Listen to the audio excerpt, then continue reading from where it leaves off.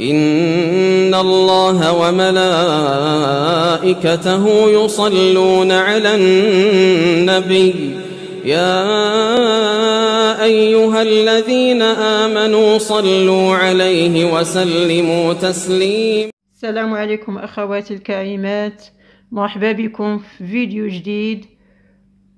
اللهم صل على سيدنا محمد وعلى آل سيدنا محمد كما صليت على سيدنا إبراهيم وعلى آل سيدنا إبراهيم في العالمين إنك حميد مجيد. اليوم أخواتي جبت لكم واحد الفيديو جديد. اليوم أخواتي جبت لكم فيديو جديد اللي طلبوني عليه بعض الأخوات اللي هو ديال آه ديال إنبات الشعر. يعني اللي عندها آه، فراغات في الشعر. يعني هاد الوصفة هذه فهي جد فعالة وجد مضمونة مئة في المئة ومجربة. يعني جربوها الناس وشكروها. عادة حطيتها أنا لكم في, في الفيديو هذا. كيف ما تشوفوا قدامكم أخواتي الكريمات عندنا هنا جوج ديال المكونات. عندنا هنا الروز إما عادي وإما كلاصي بحال هذا ولا آه، وهذا السانوج. الحبة السوداء. عندنا هنا الحبة السوداء. تنوضعوا جوج ديال المكونات في واحد الإناء. هكذا. وتنزيدوا عليهم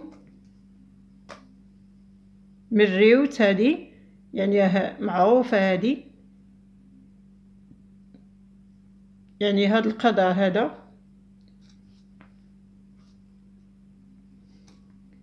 وتنزيدو كذلك أوراق الغار عصات سيدنا موسى.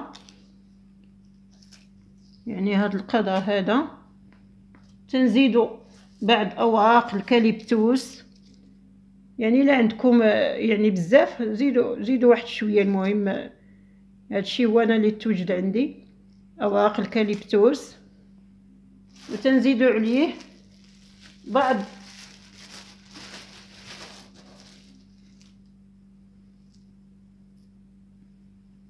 واحد العود يعني الأعواد ديال ديال ديال القرنفل. هاد الكمية هادي. عود القرنفل.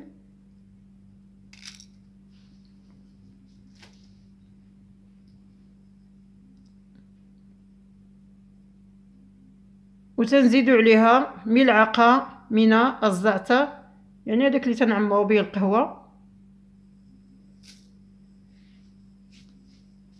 أخواتي الكريمات هاد المواد فهما يعني تت يعني تتقصح لك الزغبة ديال الشعره ديالك. يعني إلا كانت خفيفة وفي ساعة تطيح يعني هاد المواد هادو يعني ت... يعني تتقصح لك الزغبة وما تيطيحش. يعني هاد هذا الوصفة هذه فهي مجربة أخواتي صدقوني فهي إلى إلى استعملتوها يعني ما تستغناوش عليها. يعني تنستعملوها ثلاثة المرات في الأسبوع. الطريقة ديال الاستعمال تن تن تنعمرو هاد الكاسرونة بالماء يعني تنديرو فيها الماء وتنطبخوه يعني حتى تيطيب هذاك المواد على نار مهيلة. يعني حتى تيطيب وتن وتنديرو في واحد البخاخ.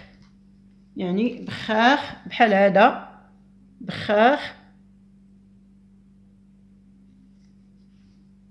وفاش نوضعوه في هذا البخاخ هذا قلنا تنستعملوه ثلاث مرات في الأسبوع. يعني باش تعطيك نتيجة هائلة. غادي نوضعو فوق النار ونرجع لكم أخواتي. هانتم أخواتي. مشيت طيبت هاد المواد هادو يعني تطابو على نار مهيلة وتتغطيه فاش تكونوا تطبخوا هاد المواد هادو. يعني تتغطيوه آه، باش ما يطراش هذاك يعني داك الزيوت الطياره باش ما يمشيوش ليه دوك المنافع ديال هاد المكونات. وتنصفيوه بهذا سميتو هاد المصفات هادي.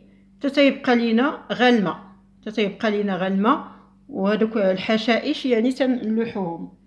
وتنديروه في هاد في هاد البخاخ هذا وتنستعملوه لمدة أسبوع يعني ثلاث مرات في في الأسبوع. يعني ثلاثة المرات في الأسبوع. وصدقوني أخواتي آه غادي تلقاو عليه نتيجة وتيمنع التساقط ديال ديال الشعر. وهكذا نكون انهيت الفيديو ديال اليوم.